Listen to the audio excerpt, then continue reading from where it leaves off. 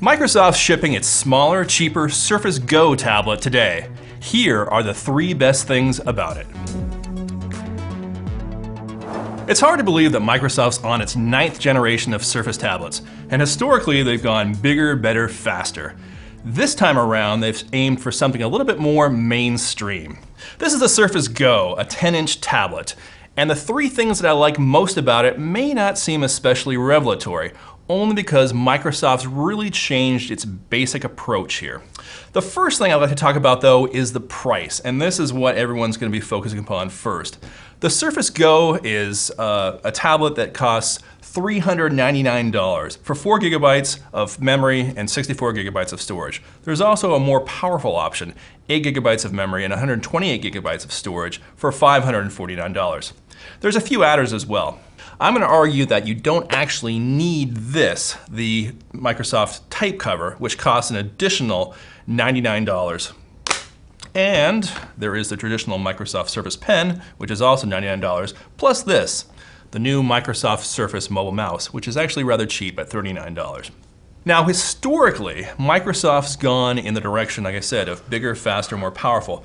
This is the Microsoft Surface Pro 2017. Inside here is Core i7, 16 gigs of RAM, and 512 gigs of SSD storage. But for all this, you're paying $1,800. So you can see why Microsoft chose this approach.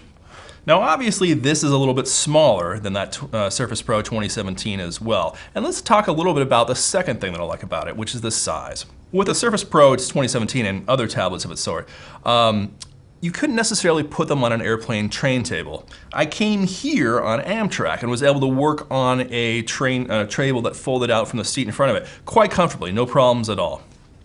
I would also say though, as I as argued earlier, that you don't even necessarily need the type cover that goes along with it.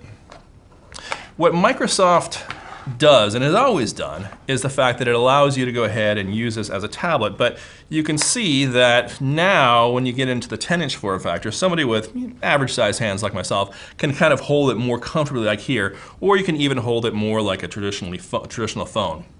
When you're typing, there's a keyboard that pops out, a software keyboard that pops out from the bottom, or you can go ahead and use a pen as well. The other thing you can do is actually order Cortana to bring up a website like PCWorld.com or a Netflix uh, uh, show or a uh, Spotify playlist. Again, you could do these with previous iterations of the Surface Pro, but it feels a little bit more comfortable and a little bit more natural here. I think the final thing that, you, that I want to talk about though is the performance. Now, Historically, again, Microsoft's aimed more at the high end of the Core series, Core i5, Core i7.